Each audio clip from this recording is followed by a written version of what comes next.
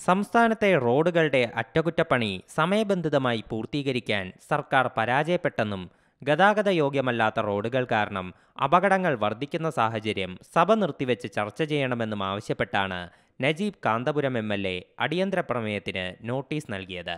റോഡുകളിലെ കുഴികളിൽ വീണ് സ്ത്രീകൾ പ്രസവിക്കുകയും ഗർഭം അലസുകയുമാണെന്ന് നജീബ് കാന്തപുരം ആരോപിച്ചു. അഡ്വഞ്ചർ പാർക്കിൽ പോയതുപോലെയാണ് സംസ്ഥാനത്തെ റോഡുകളിലൂടെയുള്ള യാത്രയെന്നും നജീബിന്റെ പരിഹാസം. റോഡ് നിർമ്മാണത്തിന് മാത്രമല്ല റോഡ് പരിപാലനത്തിനും മുന്തിയ പരിഗണനയാണ് നൽകുന്നതെന്ന് മന്ത്രി പി എ മുഹമ്മദ് റിയാസ് പറഞ്ഞു. റോഡുകളിൽ ഭൂരിഭാഗവും ഗതാഗത യോഗ്യമാണ് ചൊറിയുമ്പോൾ മാന്തുന്നത് സ്വാഭാവികമെന്ന് പ്രതിപക്ഷത്തിന് മന്ത്രിയുടെ പരിഹാസം. പല ആവശ്യത്തിനായി റോഡ് കുഴിക്കുന്നുണ്ട്. ചിലർ കൂടോത്രത്തിനായും റോഡ് കുഴിക്കുന്നുണ്ടെന്ന് മുഹമ്മദ് റിയാസ് പറഞ്ഞു.